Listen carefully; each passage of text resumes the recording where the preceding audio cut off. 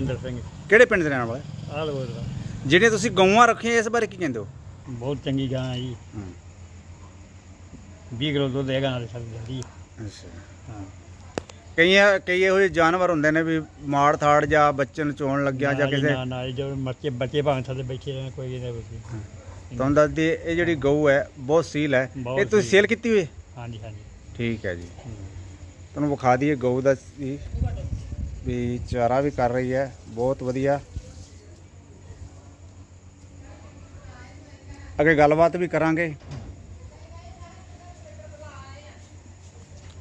ਇਹ ਕਿੰਨਾ ਸਮਾਂ ਹੋ ਗਿਆ ਤੁਹਾਡੇ ਕੋਲੇ? ਸਾਡੇ ਕੋਲ ਜੀ ਦੋ ਸੂਏ ਅੱਗੇ ਹੋ ਗਏ। ਅੱਛਾ।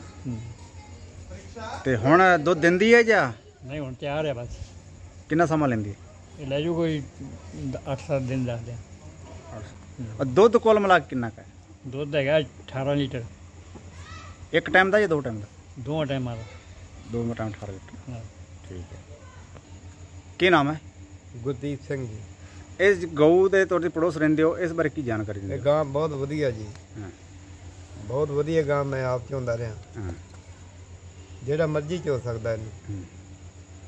ਕਈ ਵਾਰ ਹੁੰਦਾ ਵੀ ਪਸ਼ੂ ਇੱਕ ਹੱਥ ਤੇ ਟਿਕਿਆ ਹੁੰਦਾ ਹੈ। ਨਾ ਜੀ ਨਾ ਜਿਹੜਾ ਮਰਜ਼ੀ ਇਹਨੂੰ ਚੋ ਲਵੇ। ਠੀਕ ਹੈ ਜੀ। ਬੱਚਾ ਆ ਜੇ ਬੁੱਢਾ ਆ ਜੇ ਕੋਈ ਵੀ ਆ ਜੇ ਜਿਹੜਾ ਮਰਜ਼ੀ ਚੋ ਲਵੇ। ਹੂੰ।